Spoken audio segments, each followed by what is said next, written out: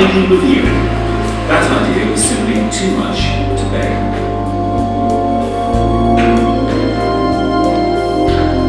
I didn't take notes, but I would count somewhere around 40 to 50 either errors in what you saw in that 30 minutes or significant omissions.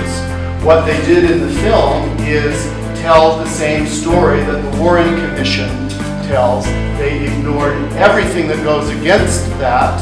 They just didn't mention it at, it at all. Uh, and they made some statements that are very controversial as though they were facts. First, the, the president was young when he was assassinated. He was a president who was popular internationally. He seemed young, charismatic, vibrant, as though he was changing things in the world. And so he goes from being at this state of uh, power, prestige, influence, and then he's struck down.